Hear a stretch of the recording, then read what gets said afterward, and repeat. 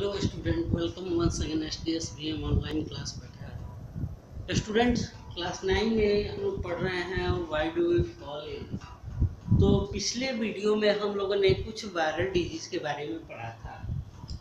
और आज स्टूडेंट, हम लोग कुछ ऐसी बीमारियाँ को पढ़ेंगे, ऐसी बीमारियों को पढ़ेंगे जो बेसिकली बैक्टीरिया से फैलती है, अर्थात जीवाणुओं से फैलती है।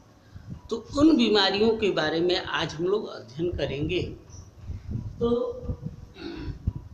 जीवाणु हमारे लिए लाभदायक तो हैं ही, लेकिन कहीं ना कहीं वो बहुत ज़्यादा नुकसानदायक भी हैं।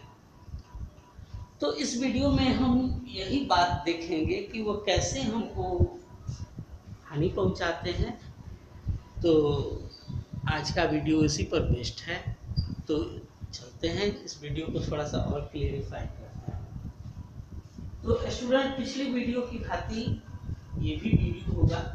पहले नेम ऑफ़ डिज़ीज़ होगा, फिर उसका इंक्यूबेशन पीरियड होगा मोड ऑफ़ ट्रांसमिशन होगा, फिर लक्षण होंगे और कंट्रोल एंड ट्रीटमेंट का प्लान किया जाएगा। एक बीमारी आई थी, जिसको हम लोग टीबी कहते थे वो बीमारी पहले बहुत चलती आजकल बहुत कम हो गई है। क्योंकि ट्यूबरक्लोसिस जो है बेसिकली बैक्टीरिया के द्वारा फैलता है। In way we have date हम लोग देखते हैं, ये बीमारी इसमें प्रारंभिक लक्षण खांसी के ही होते हैं। अर्थात वो व्यक्ति खांसता है और खांसते खांसते उल्टी के साथ में वो हल्का ब्लड का भी अंश छोड़ देता है। और जब ब्लड खखार या थूक के रूप में बाहर जब चले आते हैं तो उसको हम लोग ट्यूबरक्लोसिस कह देते हैं। बहुत ही खतरनाक बीमारी होती है।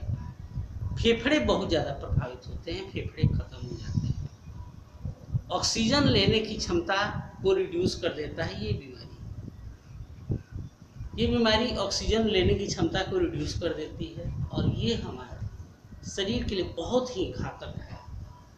कैसे घातक है तो थोड़ा सा देखें। इसका जो बैक्टीरिया फैलता है, उसको बैक्टीरिया का नाम है माइकोबैक्टीरियम ट्यूबरक्लोसिस ये बैक्टीरिया का नाम है। इसी के माध्यम से ट्यूबरक्लोसिस फैलता है। दो से दस दिन लगते हैं बीमारी को फैलने में। अर्थात two ten days contact with nasal discharge नाक के माध्यम से जो हवा जाती है, उसके माध्यम से ये बीमारी इनहेल करती है और जब खांसने, छींकने पर इत्यादि ड्रॉपलेट्स के रूप में आते हैं। और जब ये खांसी होती है तो बीमारी जो होती है बेसिकली हमारी किस रूप में बदल जाती है? कफ के रूप में बदल जाती है।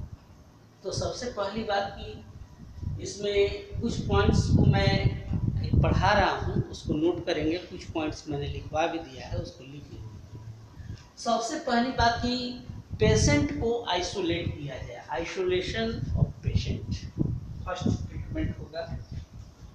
दूसरा, कि जो व्यक्ति proper disposal of septal and nasal discharge patient छींकने और खांसने की जगह जो है, उसको एक प्रॉपर एरिया के तौर पे रखा जाए और वहीं पर वो डिस्चार्ज किया जाए, उसको फेंका जाए।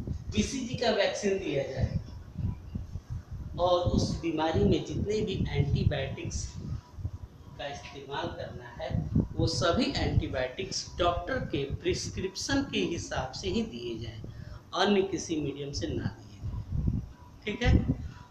अब स्टूडेंट बात आती है दूसरी नंबर बीमारी की, जिसको ये कॉमनली हम लोग कॉलरा कहते हैं। कॉलरा जो है बेसिकली विब्रियो कॉलरा नामक बैक्टीरिया से फैलता है। और ये बैक्टीरिया हमारे लिए बहुत ही नुकसानदायक है। और इसको फैलने में ज़्यादा समय नहीं लगता है छः घंटे से धीरे धीरे करने क्योंकि ये जो बीमारी फैलती है कैसे फैलती है? तो फ़ूड एंड वाटर। अर्थात बासी भोजन और दूषित जल के माध्यम से ये बीमारी कॉलरा फैलती है। खास तौर से बरसात के दिनों में बैक्टीरियल और वायरल और फंगल, ये जितने भी इन्फेक्शंस होते हैं, वो काफ़ी ज़्यादा हद तक बढ़ जाते हैं क्योंकि इनका इंक्यूबेशन पीरियड बहुत ही अच्छा होता है। तो इन सिम्टम्स में देखें तो वोमिटिंग डायरिया तो इसमें सबसे पहली बात कि भोजन को गर्म करके खिलाया जाए, पानी भी बॉयल करके दिया जाए एंटीबायोटिक और वैक्सीन भी दिए जाए। और साथ में जो डोमेस्टिक सैनिटेशन है उसका भी ध्यान रखा जाए। और वाटर सप्लाई हमेशा क्लीन दी जाए पेशेंट को। अब स्टूडेंट बात आती है टेटनस के लिए। टेटनस कोलेस्ट्रेडियम टेटनाई नमक से होता है। चार से इक्कीस दिन लगता है इसको फैलने में। Direct entry amount from the ये धूल धूल वगैरह से आकर के हमारे शरीर के ऊपर में रख करके फैलता है। इसमें सबसे पहला बात यह कि contraction painful contraction of muscles दर्द होता है मसल्स में। और नेक दोनों में दर्द महसूस होता है और कभी कभी पैरालिसिस का भी शिकार हो जाता है तो सबसे पहले कि क्लीन आयोडाइन आयोडीन सॉल्यूशन से सब घाव को साफ़ किया जाए। तीन परसेंट आयोडीन सॉल्यूशन आता है, उससे घाव को साफ़ किया जाए। और टेटवेक का इंजेक्शन इसको समय दर समय पर छः वीक के अंतराल पर इसको दिलवाया चौथा है सिकली, ट्रेपोनीमा पैलिडियम। तीन वीक में फैलता है ये। Sexually contact with infected person. और दूसरा ये है कि प्लासेंटा के माध्यम से मदर से चाइल्ड में भी होने की संभावना रहती है।